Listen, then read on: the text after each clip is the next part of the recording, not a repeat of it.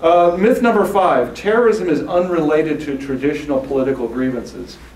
Because again of the seeming irrationality of the Al-Qaeda inspired 911 attacks, it's easy to lose sight of the fact that a large number of terrorist attacks involve fairly rational disputes over territory. When we use the GTD to identify the most active terrorist organizations in the world, we find that a large proportion of them involve groups organized around disputes having to do with political control over territory. And I'm not going to go into great detail, but uh, if you just look at our top 20 group list here, and this goes up to 2011, uh, it's, you go through these rapidly and you see how many of them have to do with, they're a group of individuals that want their own homeland, or they, they either want to take over a country as their homeland or take over a section of the country for their homeland. So that hits the Shining Path, the FMLN, the IRA, the FARC, the Taliban, the ETA. I mean, a vast number of these groups are pretty rational in the sense that they're looking for a homeland for themselves. So the dispute involves a fairly easily defined political motive in that regard. Myth number six, most terrorist attacks are incredibly lethal. Again, because of the highly lethal terrorist attack of 911, which by the, by the way is the most lethal uh, attack in our database to this point, it's easy to suppose that most terrorist attacks are incredibly lethal, but what do we get when we look at the data? Well, let's uh, look from uh, 1970 to 2011. 56% of our attacks, no fatalities. And you say, how can this be? Well, in the old days in particular, a lot of groups used to warn people before they committed an attack. This was common for the IRA, the Red Brigades, the ETA. Uh, also, a lot of times terrorists mean to kill people, but they fail. They just don't succeed at killing people. So if you end up looking at this, it's actually, I get this broken down 1970 to 2006, and this goes 2007 to 2011. You can see that terrorists are getting deadlier over time. So it, it goes from 56% to 50% of the cases, but still right around half the cases involve no fatalities. Back in the 19 early 1970s, a terrorism researcher named Brian Jenkins used to say terrorists want a lot of people watching, not a lot of people dead. Uh, he sort of revised that re more recently and says that nowadays they seem to want both. But nevertheless, the idea that terrorist attacks often kill people is only about 50% of the time the case. Myth number seven. Most terrorist attacks rely on sophisticated weaponry. And you know, the coordinated attacks of 911 uh, involve long-term planning, split-second timing, and a very innovative use of existing res uh, resources. But the sophistication of 911 pales into insignificance compared to the diabolical sophistication of the enemies that Claire Danes, Kiefer Sutherland, Bruce Willis, and other television and media heroes routinely face. Uh, I don't know what Hollywood would do without terrorism when you think about it. So you get these images uh, that encourage us to think that most terrorist strikes depend on uh, the split-second timing, sophisticated weaponry, and so on. What do we see when we actually look at the sort of grim reality of terrorism? Well, here's one way you can look at it. What weapons are we getting in terrorist cases? So out of 105,000 cases up to 2011, about 46% involve explosives, bombs, and dynamites. And this is not sophisticated stuff, basically. This is mostly stuff that's pretty readily available, including dynamite. Another 35% firearms, uh, certainly readily available in places like the United States, but even uh, fairly readily available in many other parts of the world as well. So if you put these two together, 80% of this, these attacks involve relatively mundane, everyday kinds of weapons. If terrorists had better weapons, they'd probably be able to confront militaries more directly. I mean, terrorism is kind of the, the tool of the underdog. And you see uh, in this other, like 0.46%, this is chemical, biological, radiological, nuclear, a tiny, tiny, luckily, a very tiny fraction of all cases. Fortunately for us, sophisticated weapons, including chemical, biological, radiological, nuclear, are the rare exception. For the most part, readily available. Myth number eight. Most terrorist organizations are long-lasting and difficult to eradicate. And given the persistence of high-profile, long-lasting groups like Al-Qaeda, the Tamil Tigers, the Irish Republican Army, there's a very common perception that most terrorist groups have a long lifespan. We've now identified about 2,300 terrorist groups going back to 1970. One way to gauge their longevity is look at the distance between their first known attack and their last known attack. This is what we get when we do this. We find that uh, almost 70% of groups uh, last for less than a year. In some ways, terrorist organizations are like business startups. They're very likely to go out of business very early on. And this goes down as you get here. Although you do have this interesting group, a little bit over 10% that lasts for 10 or more years. So these are the real heavy hitters out here. But nonetheless, a lot of groups disappear very rapidly. Why do we have the impression that terrorist groups are long-lasting and difficult to eradicate? I think it's because we hear so much about the few groups that are successful. But for every Al-Qaeda and ETA, there are many, many short-lived, relatively unknown groups, such as the Anti-Capitalist Brigades and the Revolutionary Flames, two groups that appear in our database I'm guessing nobody's ever heard of. In fact, our office has uh, sometimes a holiday party where they come up with uh, 200 terrorist organizations and 200 rock and roll groups, and the idea is to see if you can tell a rock and roll group versus a terrorist organization. And you'd be surprised uh, how difficult that is. Myth number nine, finally, terrorist groups are impervious to governmental counter-terrorist policies and rarely make mistakes. We could call this the myth of the super terrorist. And again, the advanced planning, the confidence, the destructiveness of 911 contributed to the notion that terrorist groups are infallible. But we have a lot of uh, examples, I think, from research we've been conducting over the last 10 years that I think suggest otherwise. And I just brought one example with me. We did a study uh, a few years ago that was published subsequently where we looked at the targeting strategies of a group called the Armenian Secret Army for the Liberation of Armenia, or ASALA. It was a very active group based in Turkey. And we were especially interested in this group because of the rapid decline in its activities after about 1981. Uh, and we thought, you know, why would this have happened? So we tried all kinds of explanations, modeling explanations. And the explanation that statistically worked out the best was that ASALA made a very historic strategic shift in their targeting strategy in the late and the early 1980s. Before, before the early 1980s, they were careful to target only Turks, and they avoided non-Turkish, and especially Armenian casualties. So this is an Armenian group that is uh, trying to get a homeland within Turkey. But starting in the early 1980s, they became far less discriminate in their targeting methods. The pivotal historical event happened uh, in an especially brutal attack on Paris's Orly airport in 1983. An explosive device de detonated prematurely in the terminal area by the Turkish Airlines counter ended up killing eight people and wounding about 50 more. And this increased reliance on random brutal violence, uh, such as the attack on Orly, created a polarized and hostile climate among the supporters of ASALA around the world. Um, turns out there was a big Armenian diaspora community in places like Canada and the United States, and they were very turned off by this random violence that wasn't even being aimed at Turks. So this change in targeting strategy was a really bad decision on the part of the, of the leadership, and they never recovered from it. They basically disappeared uh, shortly after that. And there are plenty of other examples of this kind of misjudgment and even outright incompetence. And I can't resist going into at least one or two of them.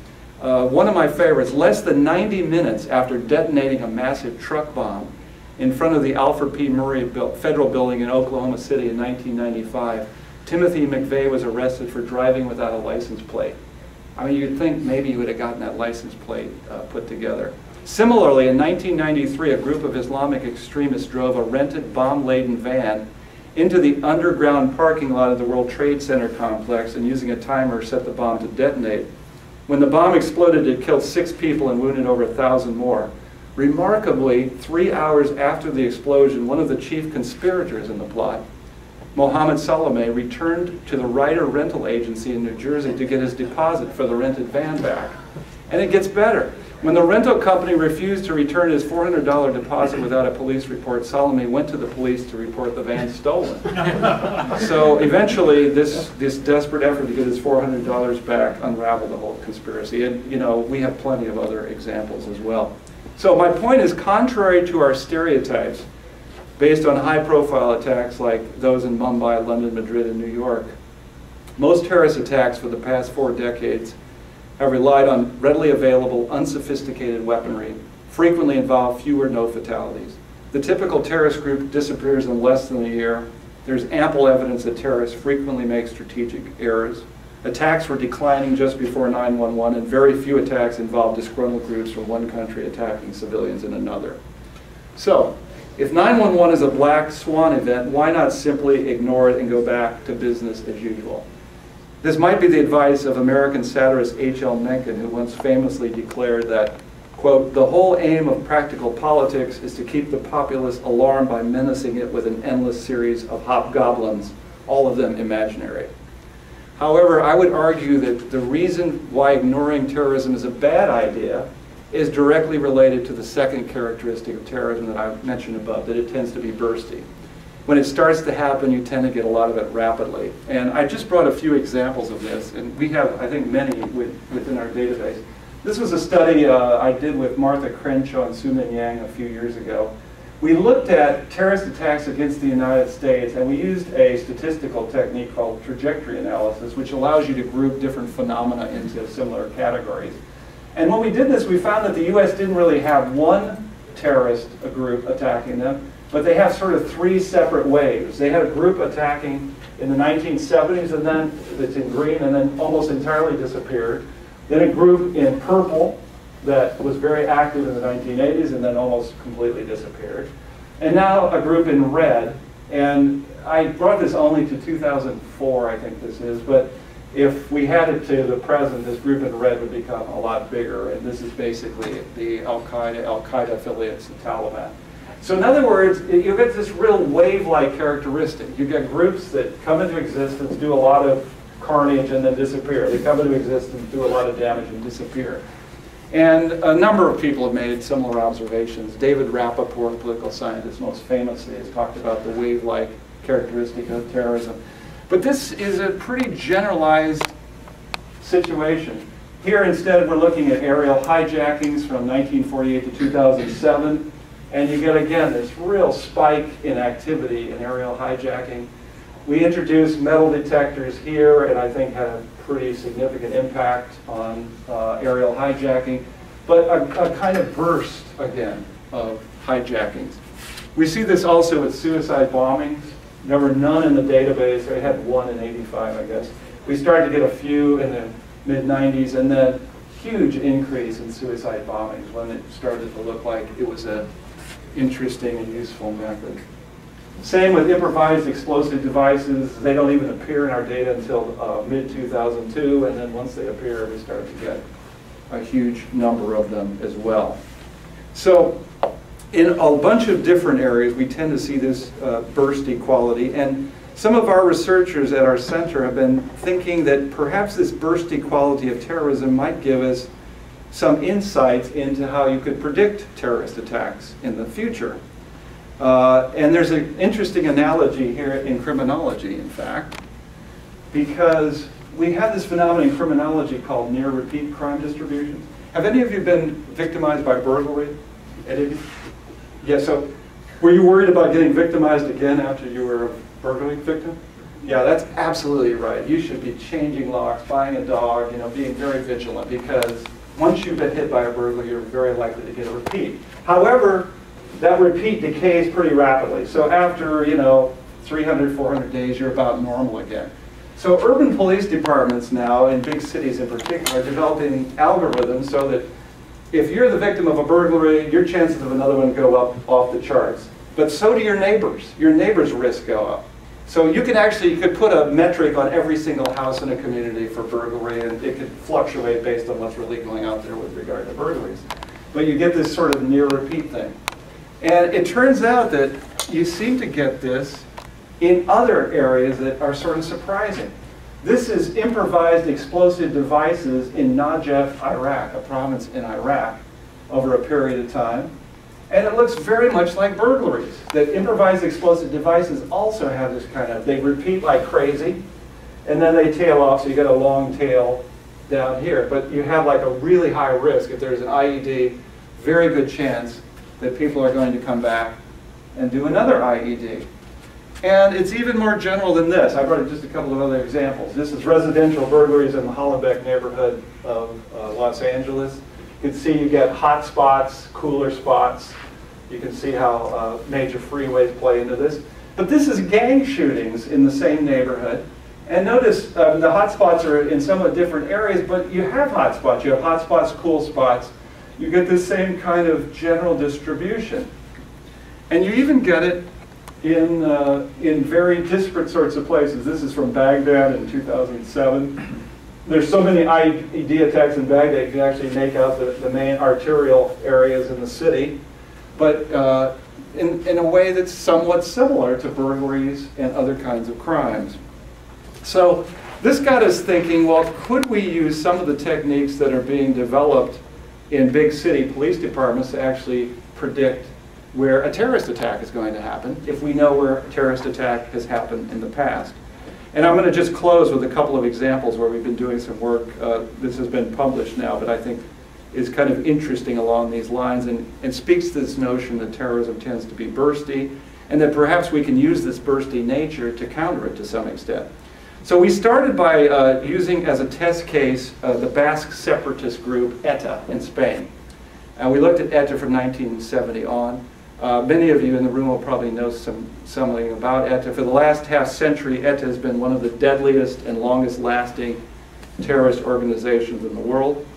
It was actually founded as a political movement in 1959 and had as its principal goal to secure a separate homeland for the Basque region. It had its first known fatality in 1968 and its violent attacks on citizens then increased rapidly in the 1970s.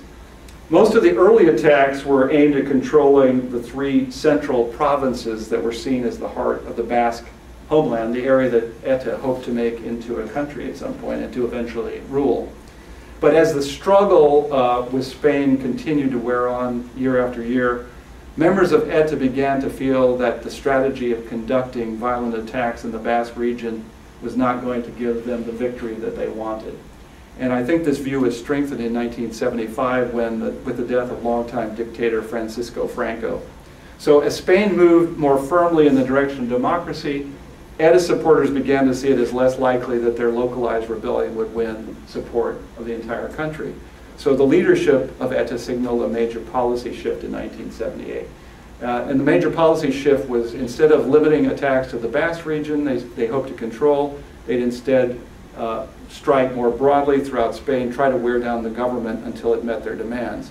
And the great thing about it is they actually made a public announcement to this effect. And you know, one of the things interesting about studying terrorism is if they make, terrorists make public announcements, a lot of the times they're pretty accurate. Uh, one of the ETA leaders says in 1978, the function of the armed struggle is not to destroy the enemy, but to force him through a prolonged psychological and physical attrition to abandon our territory due to exhaustion and isolation. So armed with our newly collected domestic terrorism data on Spain, uh, my colleagues and I tried to determine whether this public announcement could actually be observed and seen with regard to geospatial patterns. So we divided ETA attacks into two periods, before and after the official announcement of policy change in 1978. And lo and behold, uh, they were pretty accurate. You can see most of the attacks before 79 were concentrated in the three Basque regions. There were a few others. This is Madrid, I believe. There are a few others in other parts, but generally lots of concentration in the Basque region. After 1979, they're attacking pretty much throughout the country. At the height of ETA attacks, I think they were hitting something like 45 out of all 50 uh, provinces in Spain. So they were pretty darn accurate, uh, much more widely dispersed.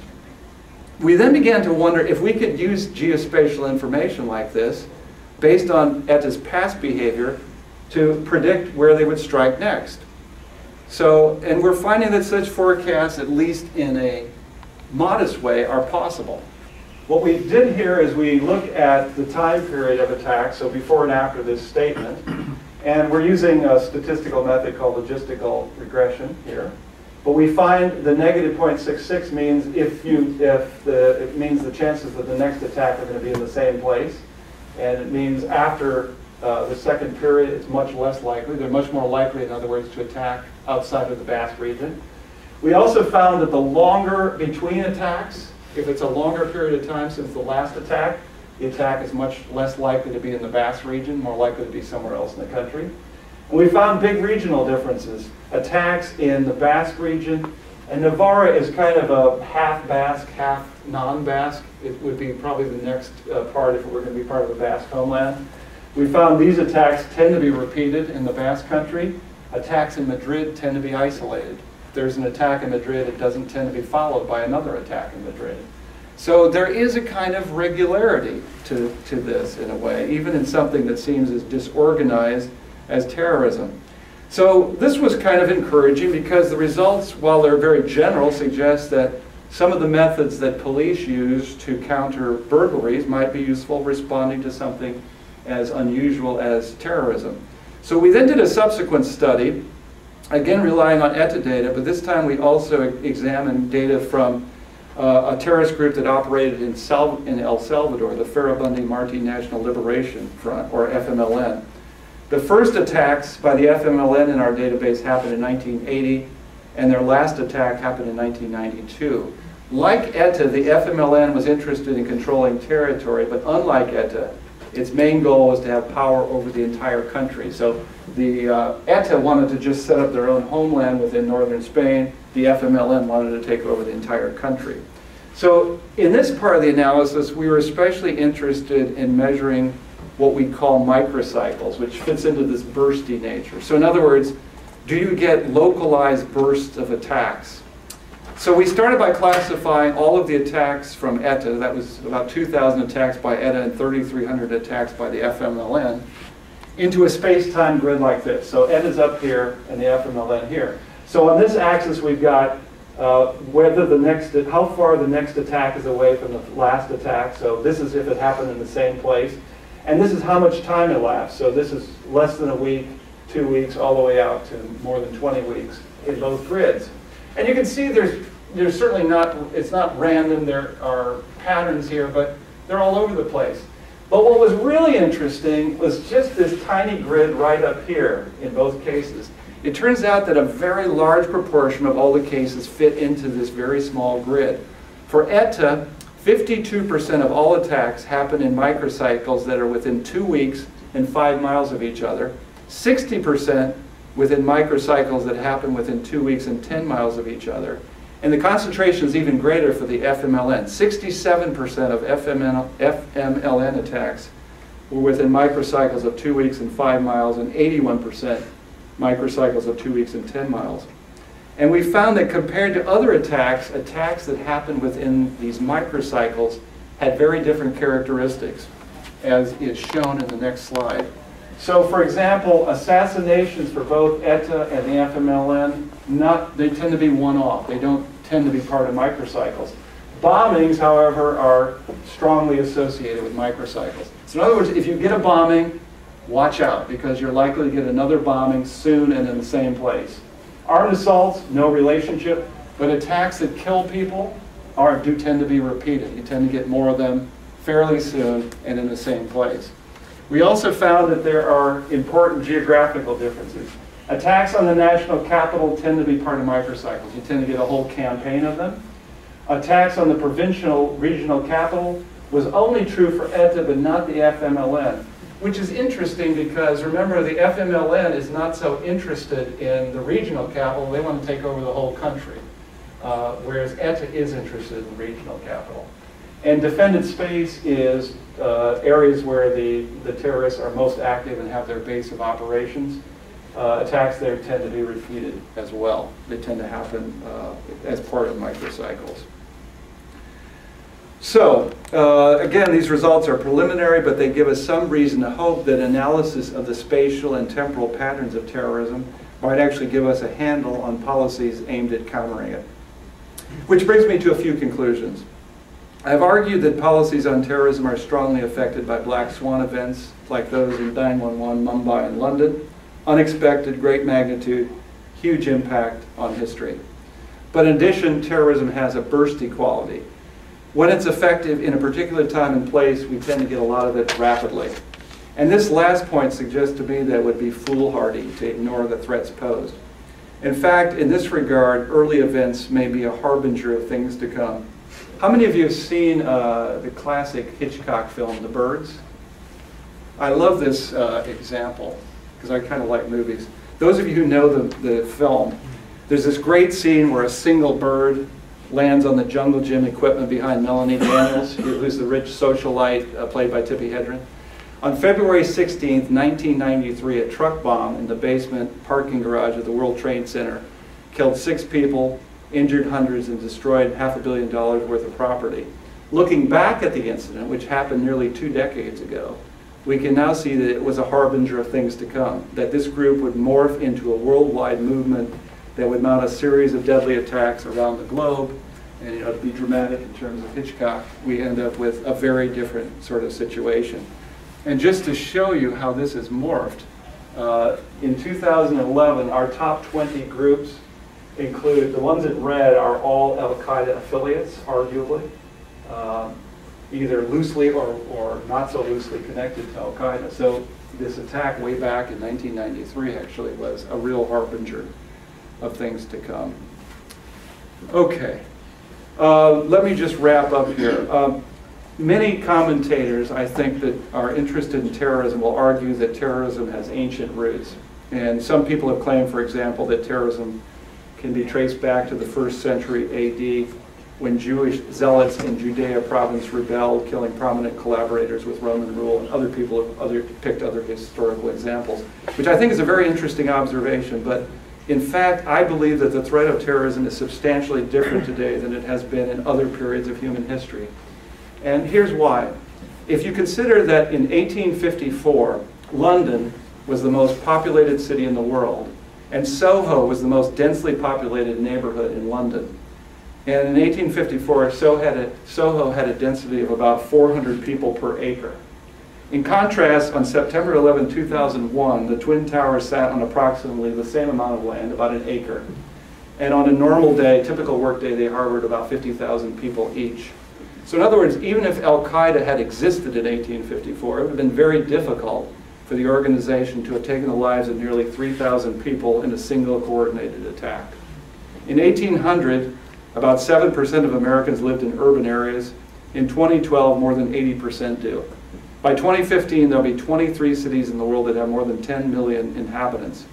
So this level of urban density has a whole host of benefits, but it also provides an unparalleled opportunity for mass destruction of human life. So with enough ammunition to destroy just two buildings, attackers focusing on the World Trade Centers had the potential to take as many lives as all of the losses Americans experienced in the entire 10 years of the Vietnamese War, which is kind of a remarkable thing to think about. You combine this fact with the increasing ability of technology to give smaller and smaller organizations access to increasingly deadly weapons, and we have what is likely to be an ongoing global challenge for the foreseeable future. So I would argue that fortunately 911 has turned out to be a rare event, a black swan, but unfortunately the threat of more deadly terrorist attacks is likely to be, I think, a more or less permanent feature of the 21st century.